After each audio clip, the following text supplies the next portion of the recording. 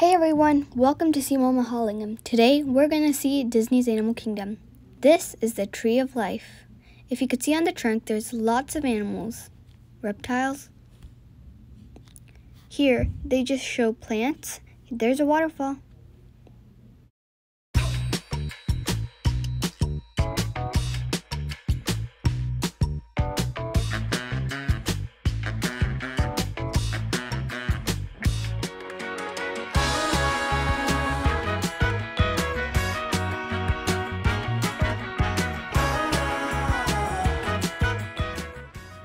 Coming up is the baobab tree. This is really helpful to the environment.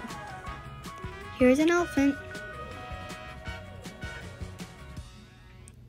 a rhino. They had lots of animals there. Here there's a male lion and a female lion.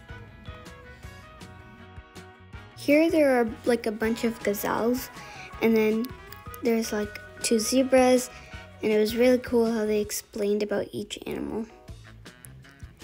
Here's a giraffe, and it's, I think, drinking or eating something. Here there's an ostrich. Here they're just showing how African music was.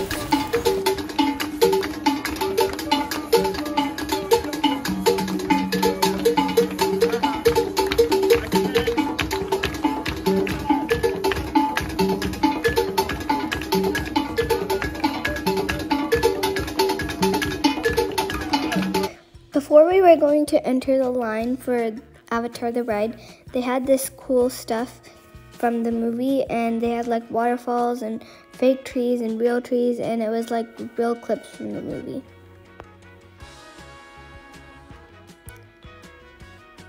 Before we actually went into the ride, they had this like tube thing and there was a person in it turning into an avatar. It was really cool. Here, there's a lit up dinosaur and it's in Dinoland. It's really cool how they show it, and this was before the ride. Here, they flew like a 3D bird and they would go on jet skis like really fast so it would fly in the air. They did this like a few times in the day and it was really cool.